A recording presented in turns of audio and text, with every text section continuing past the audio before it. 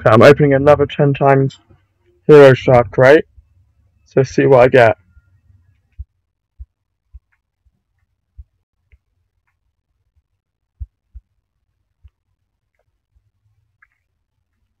I know because this is the second time I'm opening a times 10 one, I'm going to get 30 Calhoun chips guaranteed.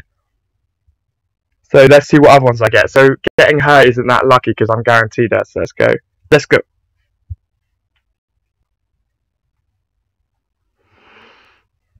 That was absolutely garbage, but I got 30 Calhoun chips, which I think I can star up again.